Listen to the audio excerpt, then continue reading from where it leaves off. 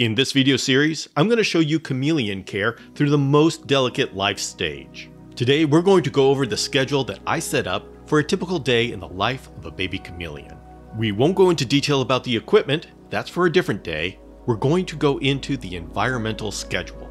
This video is based on the Chameleon Academy Daily Rhythm Model as presented in the new book, Tiny Dragons, The Art of Hatchling Chameleon Care. We will go over this environmental schedule and show how it nurtures the chameleon. We will follow a group of baby panther chameleons as they're raised in their individual enclosures and go about their day. Let's take a look at the model first. We have three entries for the separate light functions of white light to see, UVB light to create vitamin D3, and heat lamp to help them warm up. There are slots for both a mister and a fogger. Altogether, this daily rhythm shows what can create an ideal day in the life of a chameleon. Let's start at 7 a.m. when the lights come on, welcoming them to a new day. The baby chameleon will slowly open its eyes and take stock of what the new day looks like. Eventually, it will make its way to where it can warm up under the lights. Although the lights can all come on at the same time, I do like to stagger them to replicate more light as the sun rises. The chameleon will bask under the heat lamp and under the UVB. Unlike us, they can see UVB and have been observed basking under UVB separately from heat.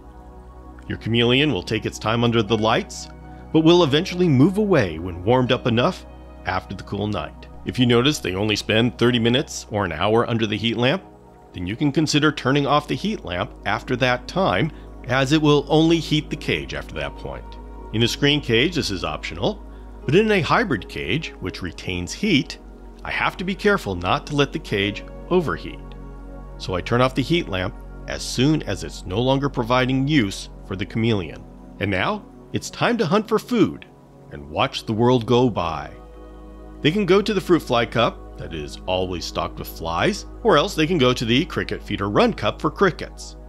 On a regular basis, I give an afternoon snack of bean beetles delivered directly to the leaves by them. Chameleons are attracted to food that moves, and quick action will definitely catch their eye. Here, a batch of bean beetles is introduced. The crawling and dispersing catches the chameleon's eye and it enthusiastically feeds. A baby's job is to grow, and growth is fueled by food, water, light, and heat. And it's our job to make sure they have enough, but not too much.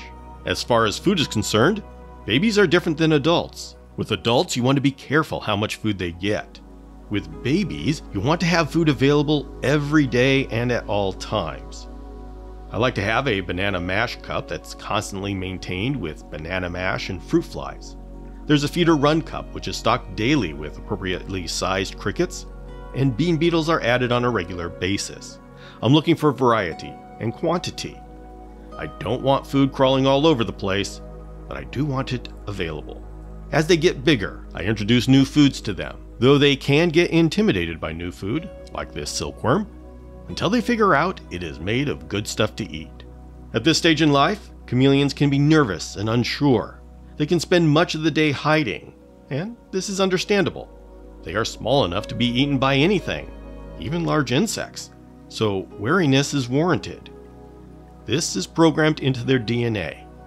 But as they spend days and weeks in a safe environment, they will start to settle in. When setting up a cage for hatchlings, actually any age chameleon, hiding spaces are necessary, even if they don't use it.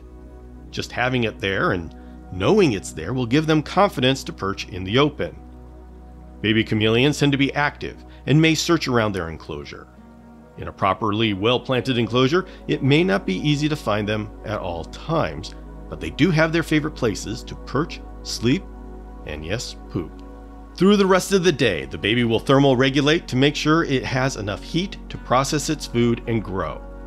But the baby is small, and there is the danger of overheating, so it's important that the baby has a way to escape the heat source.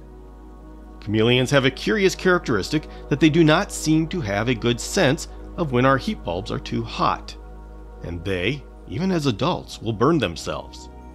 As adults, the burning will produce unsightly scars. As babies, this could desiccate them and lead to death. So we need to be careful how we apply heat. Low wattage bulbs raised above the surface of the cage top can be effective and safe, though in some cases, just the heat from the white light bulbs can be enough. When the end of the day comes, the chameleon will retreat back to a perching area that is safe. A chameleon is very good at recognizing patterns, and if your lights are on a schedule, they will go to their sleeping spot and go to sleep before lights go out. New technology is allowing our lights to gradually dim instead of suddenly turning off, and this allows a more natural photocycle. Once the lights go out at around 7 p.m. on the rhythm model, the enclosure starts to cool and we start our hydration schedule. To start, the misters go on for 30 seconds to wet the area, and then the fogger starts. The overnight fog replicates the moving in of a fog bank, which envelops the chameleon and allows them a slow hydration as they breathe in the fog. It is a slow hydration and takes time, but by time they wake up the next morning, they wake up hydrated. Right before the lights come on, the misters go off for 30 seconds to coat the area in dew. The chameleon then wakes up with the lights turning on, and it can top off its hydration if any more is needed. Our baby is ready to start another day.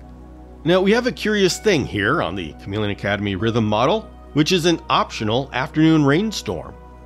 This is a built in plan for if you need more hydration than a fog filled night can provide.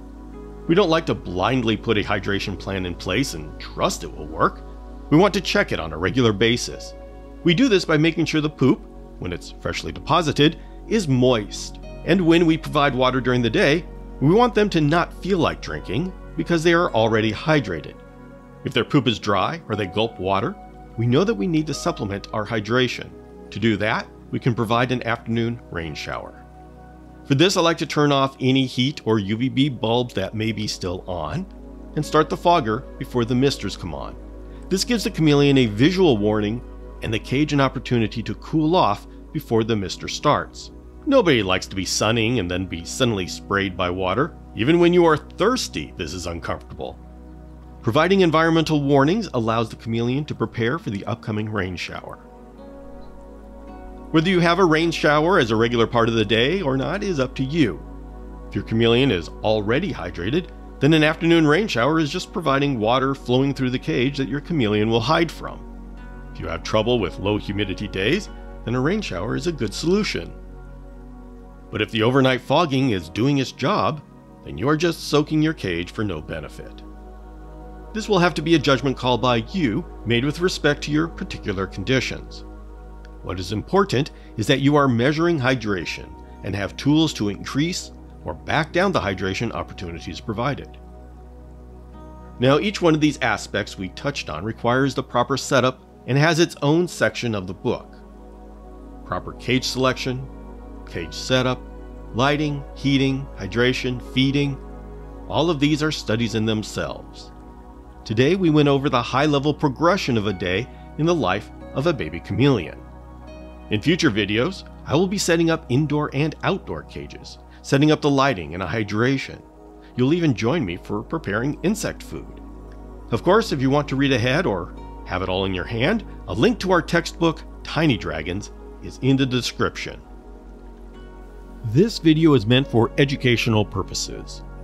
Baby chameleons are incredibly cute, but they are also delicate, and it takes special skill to raise them. If you are deciding to get your first chameleon, look into a well started juvenile from a reputable breeder. That said, the Chameleon Academy is here to educate on all life stages of this wonderful creature. Check the links in the description if you would like to get involved in other chameleon educational opportunities throughout the week. This is Bill Strand signing off. Take care of each other, and I'll see you next time.